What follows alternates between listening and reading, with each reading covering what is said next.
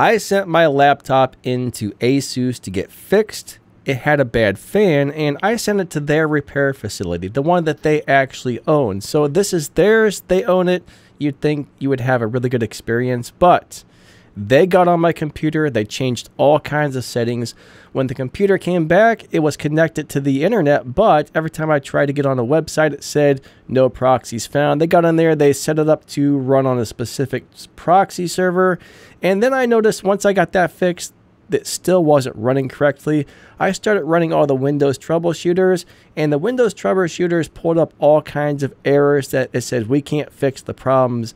And they basically got on the computer, they messed up all kinds of stuff. I don't know why they did this for a simple fan change. And the craziest part is they sent the computer back. They did not replace the fan. The fan was just screaming and making all kinds of horrible noise. So basically, I sent them in the computer just so they could screw it up and not even replace the broken part. So I went online and I looked up the Asus repair facility that I sent my computer to and on the Better Business Bureau it had one star.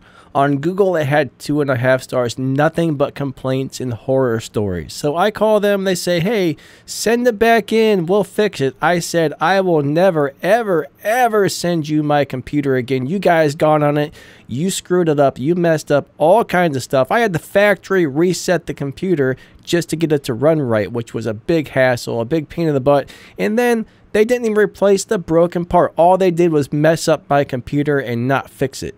But bottom line is I've been reading a lot of things about Asus lately and it sounds like this company has totally gone downhill. I will never buy another Asus product again after what they did to me. I mean, they can't even replace a broken fan.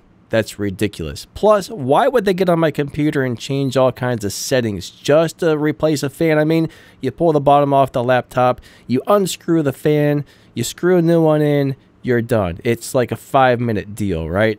They told me they wouldn't sell me another fan or send me another fan. The only way I could fix it was to send it in, and if I did it myself, it would void the warranty. So send it in or void your warranty. So I sent it in, and now I regret it. It was a huge mistake. So bottom line is, do not send your computers into the ASUS repair center. They will destroy your computer. They will mess it up. They might not even fix the darn thing. So yeah, I'll never buy another ASUS product again.